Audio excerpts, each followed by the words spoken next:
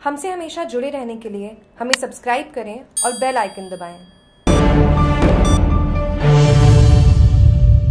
पशु एंबुलेंस के अभाव में घायल पशुओं को कई वर्षों से निजी वाहन के सहारे भेजा जा रहा गौशाला केंद्र। राज्य सरकार सहित टोल प्रशासन द्वारा नहीं दिया जा रहा ध्यान। पोसालिया फोर लेन हाईवे पर दुर्घटना में गंभीर रूप से घायल हुई दो गायों के घायल होने की जानकारी मिल रही है। ओम श्री गजानन सेवा समिति के अध्यक्ष मंगल कुमार मीना ने बताया की शिवगंज ऐसी आ रहे थे, तब सड़क पर दो पशु लहूलुहान हालात में घायल पड़े नज़र आए। हमने तत्काल अन्य कार्यकर्ताओं सहित टोल प्लाजा पुलिस प्रशासन को सूचना दी। मीना ने बताया कि वो और उनके साथी दोनों ने मिलकर घायलों को साइड में करवाया।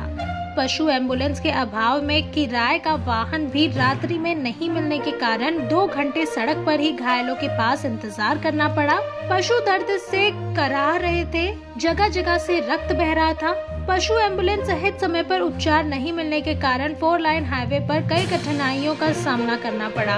बाद में कार्यकर्ताओं को तो एकत्रित कर दिया गया।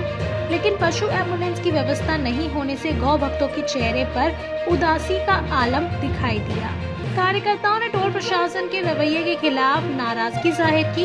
अध्यक्ष मीना ने तीखे तेवर में कहा कि रोज़ाना पशु काल का ग्रास बनते हैं, उनको समय पर उपचार नहीं मिल पाता है।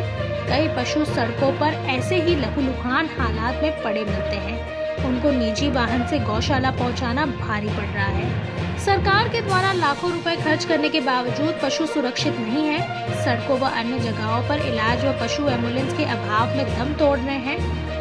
कंपनी के लाखों की वसूली के बावजूद भी पशु एंबुलेंस की व्यवस्था नहीं हो पाई है। इस संबंध में केंद्र व राज्य सरकार सहित जिला प्रशासन ने भी कोई ठोस कदम नहीं उठाया है।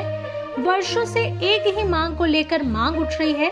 फिर भी कोई व्यवस्था नहीं होना दुर्भाग्यपूर्ण है। वही मीना ने तमाम अधिकारी, नेतागण, सत्ताधारी पदाधिकारियों को ज्ञापन भेजकर मामले से अवगत करवाया गया।